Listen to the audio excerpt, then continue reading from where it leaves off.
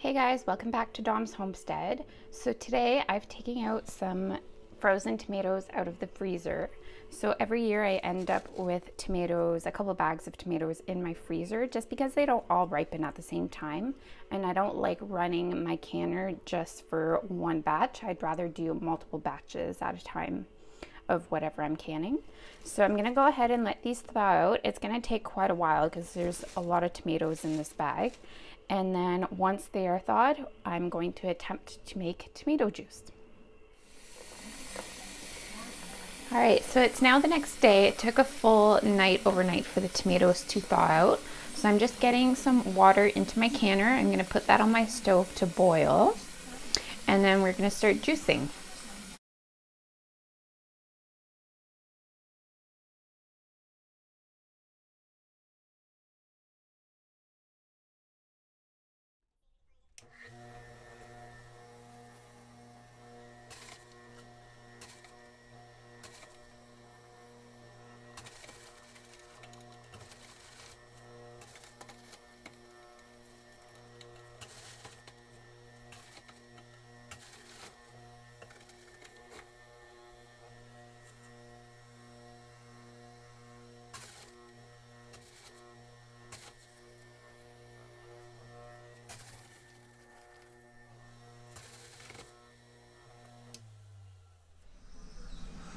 All right, so I juiced into my pint size jar, but we can't leave the tomato juice in here and can it right away. We have to heat up our tomato juice because everything when we're canning needs to be hot and right now it's cold.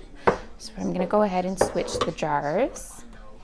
And then this full jar is coming over to the stove where we're gonna heat our tomato juice. So you'll notice, I don't know if you can see, but our tomato juice is a nice pink color right now. Um, so color is often affected by heating. So it the color should deepen once we warm up our tomato juice and again once we we can it.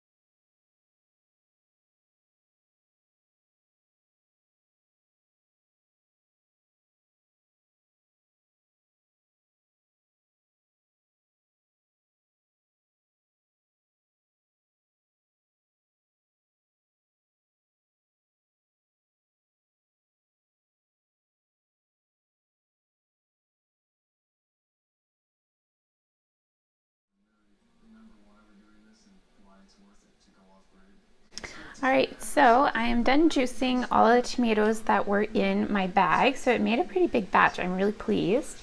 Last year I didn't have a juicer. I was juicing my tomatoes by hand, which is totally doable. It just takes a lot more time.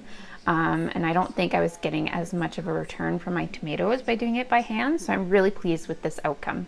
And I also have, I still have another bag of tomatoes in the freezer, so I could get double this amount. So my canner is warming up. I've just turned it down because our next step is warming up our tomato juice because everything when we're canning needs to be hot, including our jars. So I went ahead and turned on the element. We're gonna heat this up, bring it to a nice boil. And again, we're gonna see that deepening of the tomato juice, deepening of the color. And then I'm gonna go ahead and do a bit of a cleanup because um, it's a little messy and I have tomato juice smears on my cabinets. And then I'm gonna go ahead and warm, uh, warm up my jars and then we're gonna go ahead and uh, continue with our next steps. Okay, so the tomato juice has a nice boil and you can already see the deepening of the color. The foaminess is normal, that will go away. So that's ready. And then my jars are hot, my lids and rings are hot, sitting in hot water. And then in order for our jars to have the appropriate amount of acidity, we're gonna be adding a tablespoon of lemon juice and some salt just for taste. So we're gonna go ahead and do that next. I'm gonna go get a hot jar. So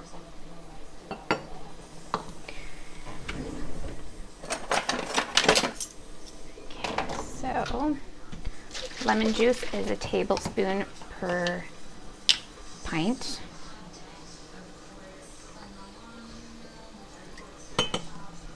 And then our salt is going to be half a teaspoon. So you can use another tomato juice recipe, but you just need to make sure that it's a trusted source, a good recipe. Um, because especially with water bath canning, you need to make sure that you have the appropriate levels of acidity so that it's safe to water bath can. Okay, so now that we have our tomato or uh, lemon juice and the salt in the jar, we're gonna go and add, go ahead and add our tomato juice. Put a bit of fan here, you might hear it.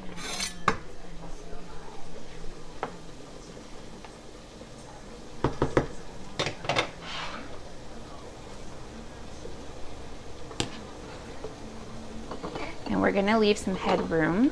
You don't want your liquid to be all the way to the top.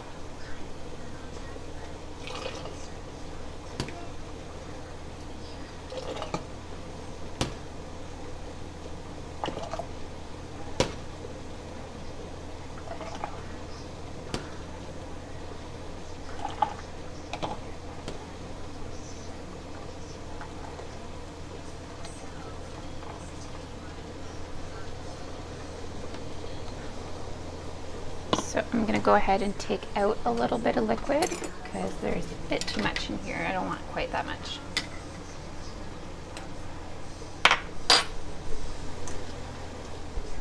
Okay, so I don't know if you can see here.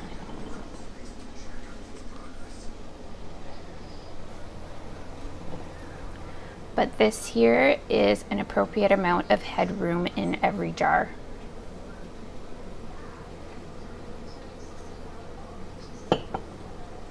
Okay, so then our next step before we put our lid on, you want to clean off the rim of your jar. And I keep touching it and it's hot. So you just clean that off.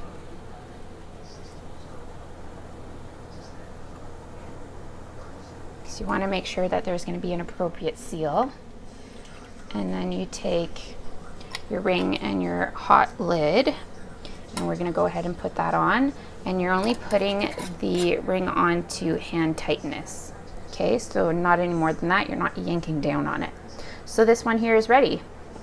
So we're gonna put that aside and then I'm gonna keep going with all the other jars, same process. Lemon juice, salt, tomato juice, wipe off the rim and then put a lid on.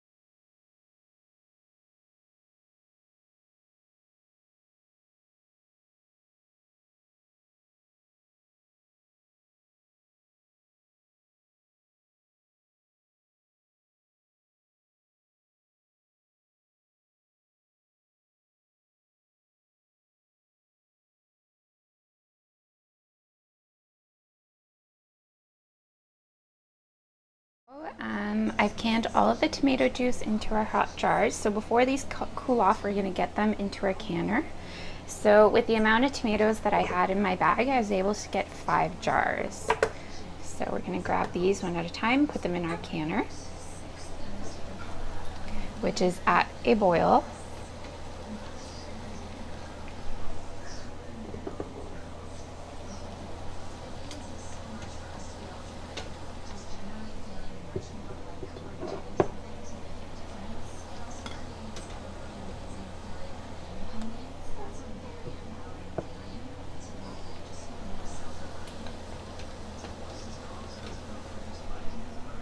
I have a pretty small canner, so this is a, you know, maximum batch I can do in here. Okay, so I'm gonna go ahead and lower the basket.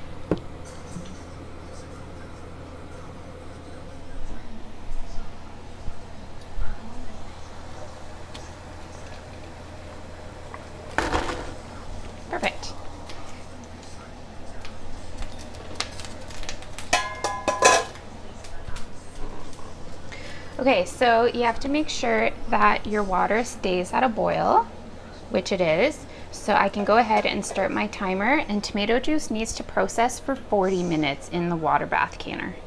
So timer 40 minutes. So you're just gonna go ahead and watch it. Uh, make sure it stays at a boil the whole entire time and then after 40 minutes I will see you back here.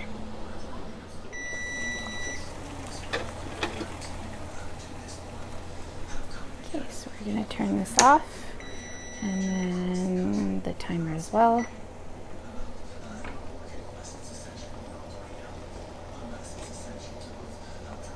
Look at that nice coloring. So with the heat, you're getting a deeper red.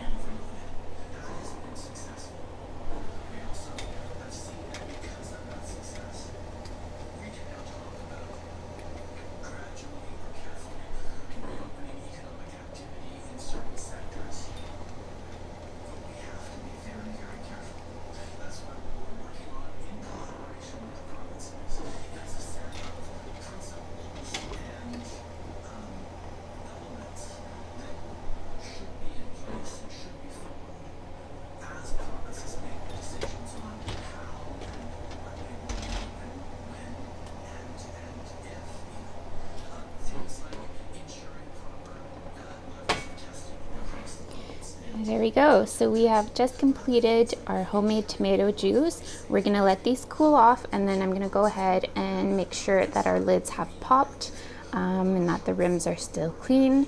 And you're gonna see a bit of separation in the juice, but again, it's just because it's a natural product, but it's really good. I love making macaroni with this.